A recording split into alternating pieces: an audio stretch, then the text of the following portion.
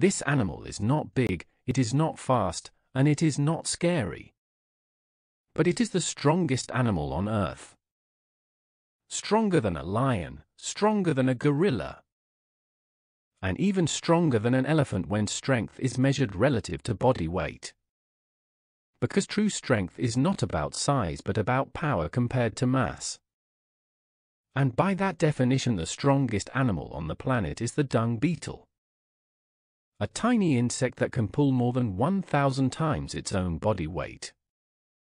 Which means if humans had the same strength, a single person could pull several fully loaded buses alone using no machines and no help.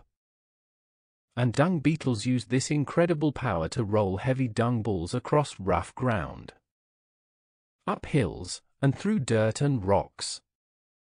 Using short legs and compact muscles designed for maximum efficiency. And while other animals are strong too, like gorillas which are about 10 times stronger than humans. Ants that can lift 50 times their body weight. And rhinoceros beetles that can lift hundreds of times their weight. None come close to the dung beetle.